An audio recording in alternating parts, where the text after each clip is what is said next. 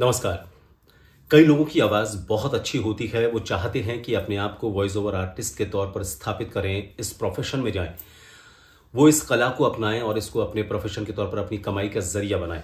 लेकिन एक अच्छे वॉइस ओवर आर्टिस्ट के लिए कुछ चीज़ें बहुत ज़रूरी होती हैं। उन चीज़ों का अगर वो ख्याल रखते हैं तो ना सिर्फ़ वो किसी एजेंसी या किसी ऑर्गेनाइजेशन के साथ वॉइस ओवर आर्टिस्ट के तौर पर जुड़ सकते हैं, बल्कि अपना खुद का भी एक वॉइस ओवर स्टूडियो बना सकते हैं। बहुत ज़्यादा उन्हें किसी लवाजमे की ज़रूरत नहीं है। कुछ चीज़ों की, कुछ सावधानियों की, कुछ टिप्स की उनको ज़रूरत है।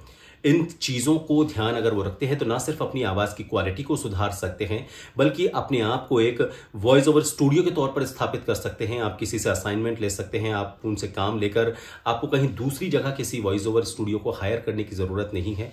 किसी और दूसरी कंपनी की आपको ज़रूरत नहीं है। आप खुद अपने वॉइस ओवर आराम से घर बैठकर कर सकते हैं, अपनी आवाज़ को इम्प्रूव कर सकते हैं। तो आज जो मैं वीडियो बनाने जा रहा हूँ, उसमें मैं आपको इसी चीज़ के बारे में बताऊँगा कि कैसे आप 10 टिप्स के ज़रिए अपने आप को एक बहुत अच्छे वॉइस ओवर आर्टिस्ट के तौर पर स्थापित कर सकते हैं, अपनी कला को निखार सकते हैं। सबसे पहले तो आपको बोलना, आना अच्छा लगना चाहिए। आपको ये पसंद आना चाहिए कि लोग बोलते हैं, आपको बोलना अच्छा लगता है, लोगों से बातें करना अच्छा लगता है, लोगों से डिस्कशन करना अच्छा लगता है। इससे जो आप सेल्फ कॉन्शियस कई लोग हो जाते हैं, वो नहीं होंगे। सेल्फ कॉन्शियस होने की वजह से लोगों की आवाज़ पर असर पड़ता है और उनकी आवाज़ की जो क्वालिटी है, वो खराब हो जाती है। तो आप एक तो बोलना पसंद करें, लोगों से खूब बातें करें।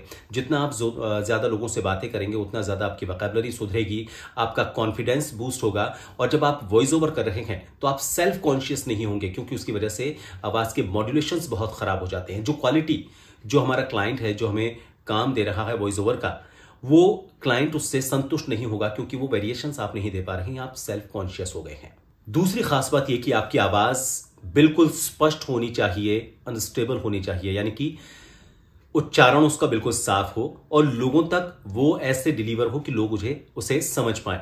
समझना इसलिए ज़रूरी है ताकि आपका जो कंटेंट है, वो अगर लोगों को समझ ही नहीं आएगा तो आपका बोलना बेकार है। तो एक तो सबसे पहले आप जो उच्चारण है आपका, शब्दों का जो उच्चारण है, वो बिल्कुल स्पष्ट हो। उस पर आप ज़रूर काम करें। स को श ना बोलें, श को सा ना बोलें, छोटी की मात्रा को बड़ी की मात्रा की तरह ना बोलें इसी तरह ऊ की मात्रा वो गलत उच्चारण ना करें। कई ऐसे शब्द हैं जिनके उच्चारण को लेकर लोगों में दिक्कत होती है। क्लिष्ट जो शब्द होते हैं बड़े जो शब्द होते हैं उनका उच्चारण किस तरह से किया जा सकता है इसको लेकर मैंने पहले कई वीडियोस बनाए हैं। बड़े और कठिन शब्दों को उच्चारण के लिए आपको किन टिप्स को अपनाना चाहिए उन वीडियोस को आप देखिए। उच्चारण साफ़ होगा लोगों के समझने वाली बात आप, आपका जो तरीका होगा लोगों के समझ में आएगा तो आपका वॉइस ओवर परफेक्ट होगा और आपको काम भी इससे ज़्यादा मिलेगा। तीसरी खास बात यह कि जिस भी भाषा में आप उच्चारण कर रहे हैं, जिस भी भाषा में आप वॉइस ओवर कर रहे हैं, उस भाषा की आपको समझ होनी चाहिए। हर भाषा के बोलने का एक तरीका होता है, उसका एक एक्सेंट होता है। मान लीजिए अंग्रेज़ी की हम बात कर रहे हैं। ब्रिटिश जो इंग्लिश है, उसका जो एक्सेंट है, बोलने का जो तरीका है, वो कुछ अलग है।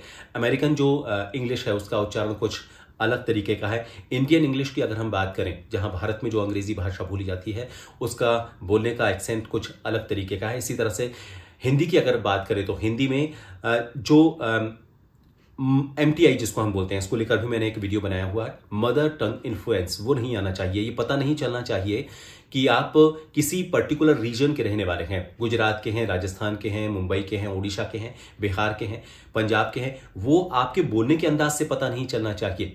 तो आप जिस भाषा में वॉइस ओवर कर रहे हैं, उस पर अच्छी आपकी पकड़ होनी चाहिए, उसकी ग्रामेटिकल नॉलेज आपको होनी चाहिए, उसकी वोकेबलरी आपको पता होनी चाहिए, उसके उच्चारण का तरीका आपको पता होना चाहिए तो उस भाषा पर आपकी पकड़ अच्छी हो, जिस भाषा में आप वॉइस ओवर करते हैं, चाहे वो कोई सी भी भाषा हो। चौथी खास बात यह है कि आपको कंप्यूटर की अच्छी नॉलेज होनी चाहिए। होता यह है कि हम जो आजकल वॉइस ओवर करते हैं और जो हमारे पास स्क्रिप्ट आती है, मैं शुरू से लेकर लास्ट तक की आपको बात बताऊँ, उसमें कंप्यूटर बहुत अच्छी तरह से इस्तेमाल होता है। ज़्यादा से ज़्यादा कंप्यूटर का इस्तेमाल आपको आना चाहिए। कैसे? सबसे पहले तो आपको स्क्रिप्ट मिलती है, वो आजकल मेल पर आती हैं कंप्यूटर पर आती हैं तो आपको कंप्यूटर लिटरेट होना ज़रूरी है। उसके बाद जो हम रिकॉर्डिंग करते हैं, वो रिकॉर्डिंग भी हमें कंप्यूटर पर ही करनी पड़ती है तो उन सॉफ्टवेयर्स की आपको जानकारी होनी चाहिए, जिनमें ये रिकॉर्डिंग्स होती हैं ऑडियो को हम रिकॉर्ड करते हैं। इसके बाद एडिटिंग उसको हम थोड़ा सा प्यूरिफाई करते हैं, उसको इन्हांस करते हैं, उसको थोड़ा सा क्वालिटी को और बढ़ाते हैं। उसमें जो हमसे गलतियाँ हो गई हैं, उनको कट करते हैं। तो आपको audio editing audio editing software की भी समझ होनी चाहिए, उनके बारे में आपको पता होना चाहिए।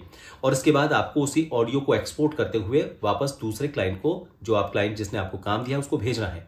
तो सारे काम आपको कंप्यूटर पर करने होते हैं, इसलिए आपको उस कंप्यूटर के इस्तेमाल का पता होना चाहिए, कैसे हम इस कंप्यूटर को हमारी हमारे प्रोफेशन के लिए इस्तेमाल कर सकते हैं। पांचवी बात, जब भी आप स्क्रिप्ट को पढ़ने के लिए बैठे हैं, वो आपके बिल्कुल विजन में होनी चाहिए। ये नहीं कि आपको उसको पढ़ने में कहीं दिक्कत हो रही है। आप उस पर स्क्रिप्ट पर अपने कुछ पंक्चुएशंस के निशान लगा लें ताकि आपको उसको बोलते समय, उसका उच्चारण करते समय या फिर आपको उसको जब रिकॉर्ड कर रहे हैं तो आपको पता हो कि मुझे इस स्क्रिप्ट को कैसे पढ़ना है। तो इसके लिए सबसे पहले तो स्क्रिप्ट को आपको इस तरीके से रखना है कि आपके माइक के और आपकी दिखने के बीच में वो ना आए। माइक से थोड़ा सा उसको साइड में रखें ताकि वो आपको पूरी तरीके से दिखती रहे, उसमें आपको कंफ्यूजन ना हो। दूसरा, उसमें जो आप पंक्चुएशंस के कुछ या फिर जो भी आपकी आसानी के लिए निशान होते हैं, कुछ खास शब्द होते हैं, कुछ खास अक्षर होते हैं जिनको आपको हाईलाइट करना होता है, जिन लाइनों को या जिन शब्दों को आपको अलग तरीके से उच्चारण करना है, उन पर आप थोड़ा सा एक मार्क लगाकर रखें ताकि आपको पता रहे कि अब ये लाइन आ रही है, मुझे इसको कुछ अलग तरीके से बोलना है। अलग अलग क्लाइंट की अलग अलग तरह की जरूरतें होती हैं वॉइस ओवर में अलग अलग तरीके इस्तेमाल करने होते हैं, इसलिए आपकी आवाज़ की एक क्वालिटी ये भी होनी चाहिए कि आपको जल्दी बोलना, धीरे बोलना हाई पिच पर बोलना लो पिच पर बोलना अलग अलग मूड में बोलना। ये आना चाहिए, ये आपकी वॉइस की क्वालिटी होनी चाहिए। कुछ स्क्रिप्ट ऐसी होती हैं जिसमें स्क्रिप्ट का मटेरियल ज़्यादा होता है, लेकिन उसकी ड्यूरेशन कम होती है तो आपको जल्दी जल्दी बोलना आना चाहिए, लेकिन उसमें फंबल नहीं होनी चाहिए। कुछ स्क्रिप्ट होती हैं डॉक्यूमेंट्री स्टाइल की जिनमें नरेशन होता है बहुत अच्छे तरीके से, या फिर बच्चों की बात करें, उनको बहुत अच्छे तरीके से धीरे धीरे समझाना होता है। वहाँ पर आपकी स्पीड स्लो होनी चाहिए। अलग अलग मूड की, कुछ जो स्क्रिप्ट होती हैं, उनका अलग तरह का मूड होता है। कुछ कॉमेडी की होती हैं तो उनको एक अलग अंदाज में पढ़ना होता है।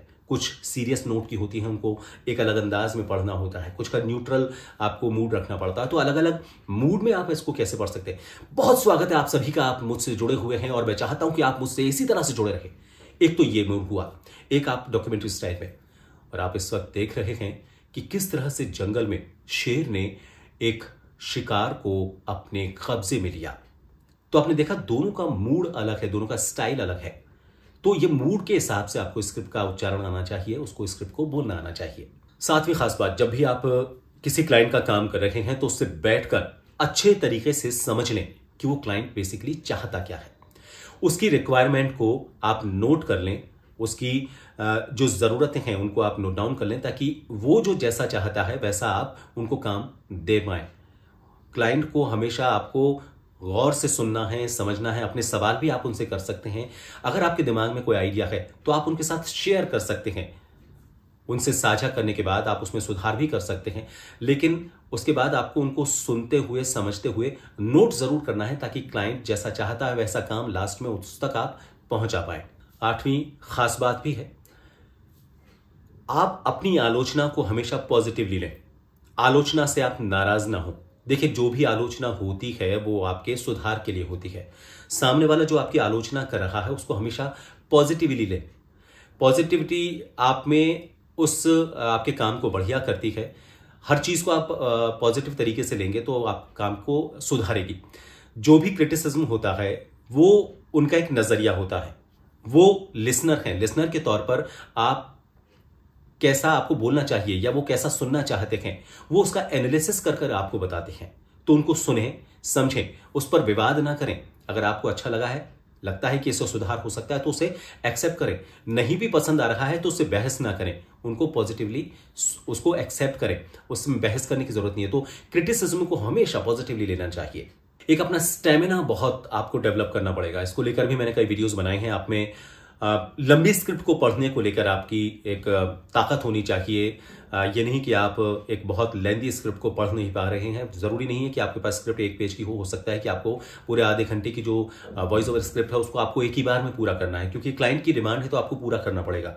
तो इसलिए आप अपने स्टेमिना को डेवलप करें। स्टेमिना को डेवलप करने को लेकर भी मैंने कई वीडियोस बनाए हैं, जिसमें आप अपने फेफड़ों की ताकत को कैसे बढ़ा सकते हैं। आप एक लंबी लाइन को बोलने के लिए अपनी कैपेसिटी को कैसे बढ़ा सकते हैं? आप अपने गले पर ज़्यादा ज़ोर ना पड़े, एक लंबी स्क्रिप्ट पढ़ सकें उसके लिए। गले को बिना स्ट्रेस में लाए एक लंबी स्क्रिप्ट कैसे पढ़ सकते हैं, इस पर मैंने वीडियोस पहले बना रखे हैं। तो एक लंबी स्क्रिप्ट कैसे आप पढ़ सकते हैं, उसके लिए आपको अपने स्टेमिना पर ज़रूर काम करना चाहिए, ताकि आप हर चीज़ के लिए, हर काम के लिए हमेशा तैयार रहें। और दसवीं और आखिरी बात आपका जो क्लाइंट है, जो आपको काम दे रहा है, वो हमेशा सही होता है। वो चाहे कुछ भी कहे, आप उससे बात करके उसको सलाह दे सकते हैं, लेकिन आखिरकार वो जो कह रहा है, वो ही आपको करना है। क्योंकि उसे अपना काम पसंद है, उसको अपना काम करवाना अपने तरीके से पसंद है, इसलिए क्लाइंट से कभी भी बहस ना करें, उससे ना उलझें।